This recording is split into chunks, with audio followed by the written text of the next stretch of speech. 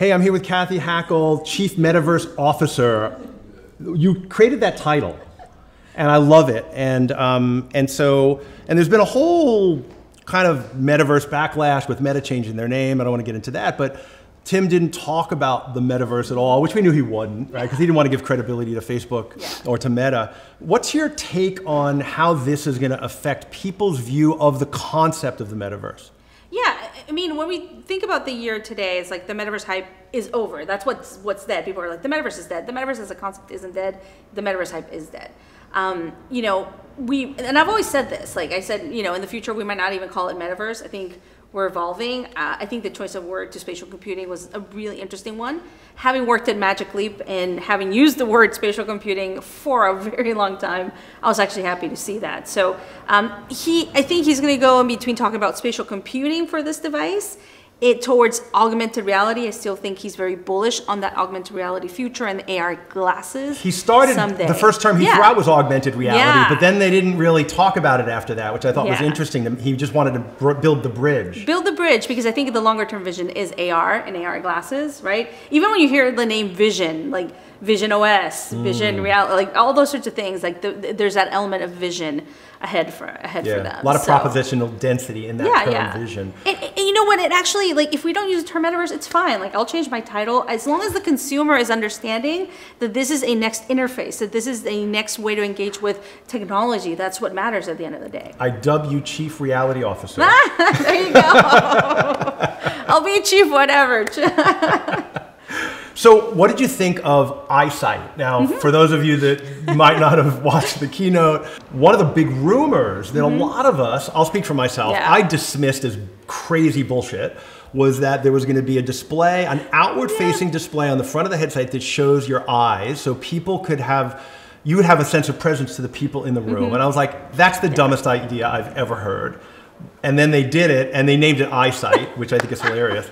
Um, what do you think of that? They pulled it off. They fucking pulled they it off. They pulled it off. Like that. I was literally having a conversation uh, with Jeremy Dalton about it. I was like, how, how are they doing this? Like, I was just, I was blown by it, blown away by it. And I think it resolves a lot of the issues, right? When people are like, oh, it, you know, separates me from reality and like everything. It's like, no, like you can still see someone's eyes. They can see you. Um, I don't know, fantastic. I mean, the amount of technology that has gone into this device is mind blowing. It is mind blowing. And just, you know, I, am literally trying to process this because this is truly.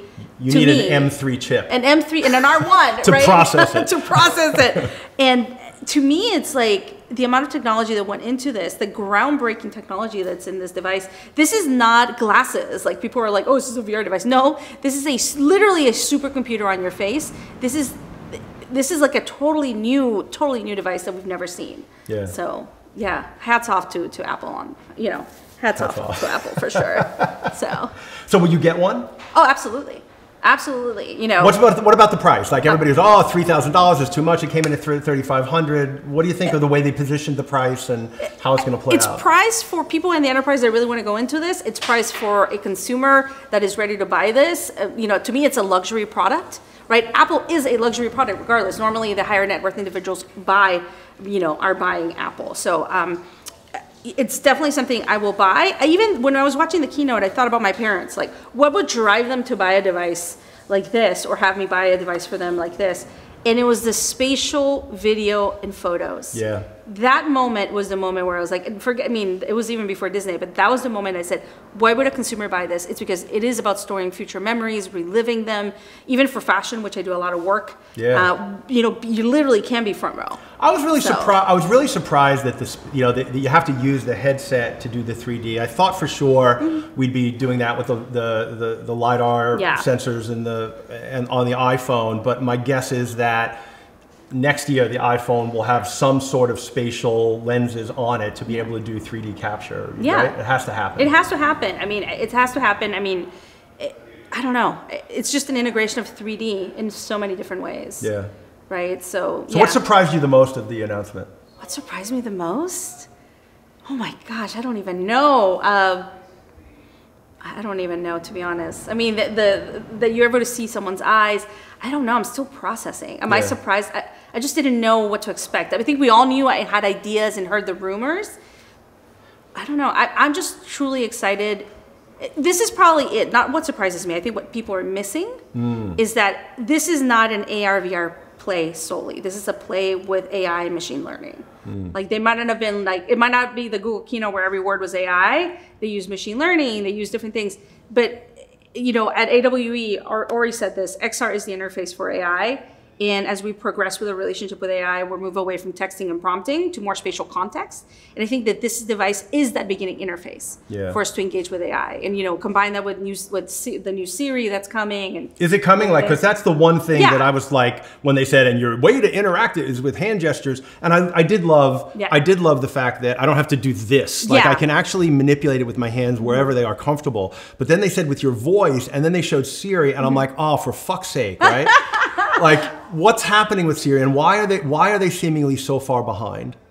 I don't know if they're far behind. Do You think they're going to catch honest, up? This, I was having this conversation. I said because someone's like, "Are they playing catch up in AI?" I said, "No, they're far behind. We just don't know where they are."